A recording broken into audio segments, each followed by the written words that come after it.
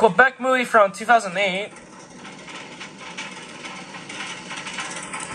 On MCC, this was very saisonly produced with no rating reason.